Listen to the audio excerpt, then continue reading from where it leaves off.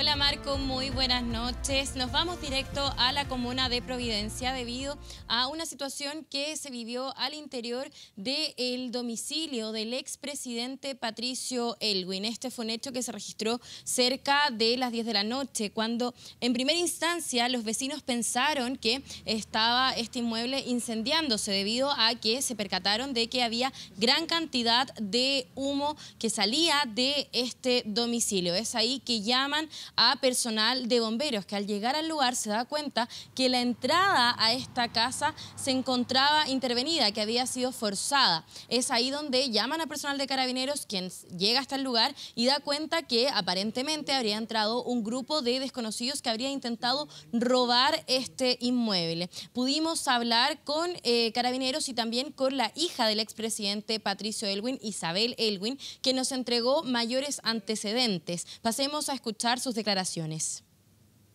Se logra verificar que efectivamente eh, el domicilio mantiene una, fractura en la puerta principal y eh, señales de registro en la totalidad de las habitaciones del, domicilio, lo que hace presumir que los individuos ingresaron, eh, digamos, fracturando justamente la puerta y permanecieron bastante tiempo en el lugar.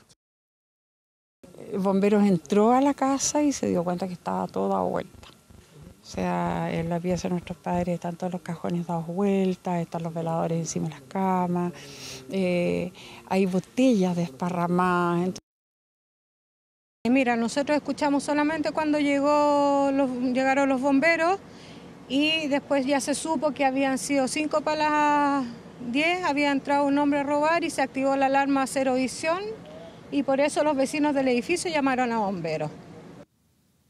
Bueno, ahí escuchamos parte de las declaraciones. Algo que también nos decían los vecinos es que este sector en el último tiempo se ha vuelto bastante complicado, por lo que le pedían al municipio que existiera mayor seguridad en este sector donde se encuentra la vivienda del expresidente Patricio Elwin y también la fundación que lleva su nombre. La Brigada de Robos Oriente de la Policía de Investigaciones va a ser la encargada de llevar a cabo las diligencias que esclarezcan la situación que ocurrió en este inmueble, Marco.